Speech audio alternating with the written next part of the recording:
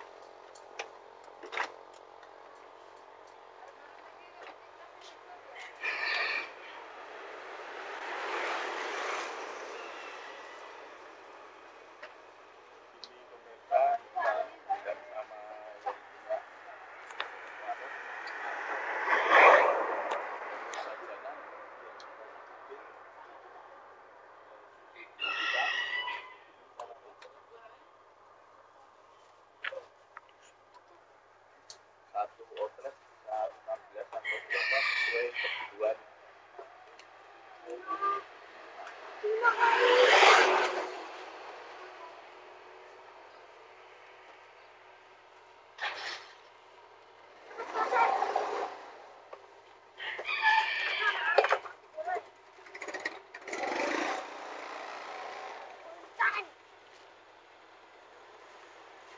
ini pemirsa kita yang lain jajanan yang lain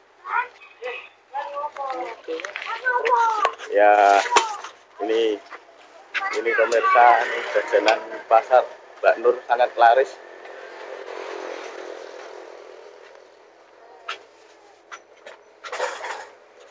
Nah ini kita lihat Mbak Nur nih 15 ya Mbak? Ya.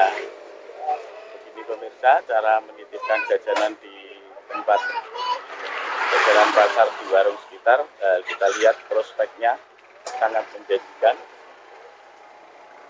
Nah,